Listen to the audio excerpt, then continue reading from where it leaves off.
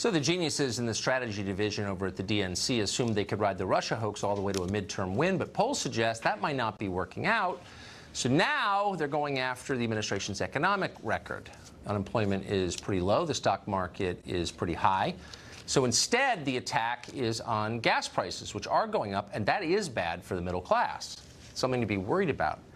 The problem, of course, is the Democratic Party has spent years vowing to increase gas prices if elected in the name of stopping global warming. The 2016 platform literally demanded a higher tax. Mark Steyn is an author and columnist. He was alive in 2016, paying attention. He may remember that plank in the platform. What does he make of it now? Hey, Mark. Well, hi, uh, hi, Tucker. Yeah, it's it's kind of any port in a storm. Uh, the blue wave has uh, is petering out as it comes towards shore. And uh, you, you, said the Russia hoax. I mean, you've got to think in the chancelleries of the world right now, uh, if, if uh, all the people who told us that Trump had no chance to win in 2016, if somehow the blue wave doesn't happen and the Republicans win the midterms, there's a huge opportunity for a sinister foreign power out there uh, that, that, that they can get the Democrats to blame them for stealing the election. So we can have a Slovenia uh, investigation or a Tajikistan investigation or a Solomon Islands investigation. So if you're the Solomon Islands ambassador, now would be a really good time to book a lunch with, say, Mitch McConnell so it'll look suspicious on the Wednesday morning after in November. Uh, and I don't want to give any ideas to the DNC or the FBI, but if the FBI has any spare Cambridge professors lying around that it would like to, uh, you know, say to minor Trump uh, officials, uh, you know, maybe a staffer to Mitch McConnell. Oh, you know that uh, Slovenia has all those uh, DNC emails. I mean, you've got to figure this is the time to be moving on to the next plot now that Russia hasn't worked out. So you're laughing about this, but the next mm. independent counsel, or maybe four independent counsels from now, will be pulling this tape and using it as evidence yeah, yeah. at your trial. Yeah.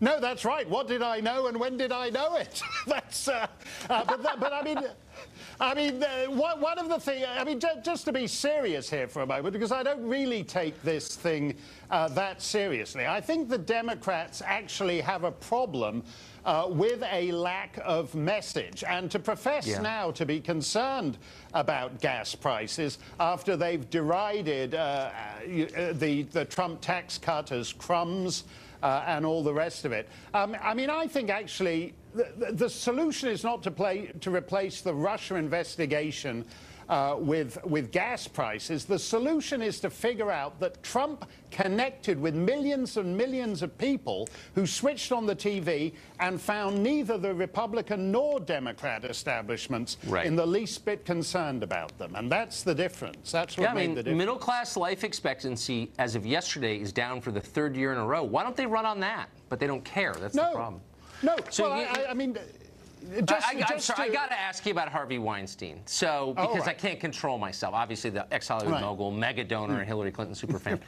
He's set to turn himself in uh, to authorities in New York on sex crime charges. Right. This story's basically, this is the denouement of the story. Do you want to put a bow on it? What should we think of this?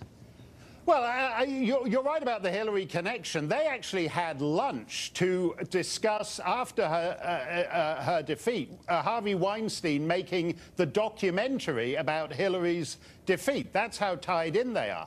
I think this is, I think this is quite important, though, because the Me Too movement, you, you know, there's an element of moral panic to it, but there's no doubt about this guy. He's been credibly yeah. accused of rape by, uh, by actresses in the United States, Canada, the United Kingdom, France, uh, New Zealand, all over the planet.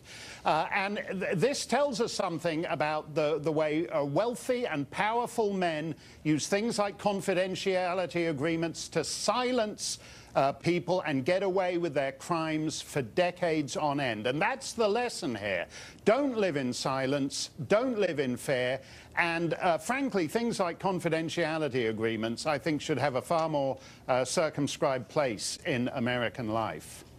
I mean, there's also, I agree with everything you said, but there's also a sub lesson here, which is if you're wondering what people are up to, look at the behavior that they denounce in public. It's probably the very same thing. I mean, Harvey Weinstein was this great champion of women, as was Schneiderman. You know, the one thing I'm not in favor of is hurting women, and of course they were both doing that exact that exact thing. I don't think that's an accident.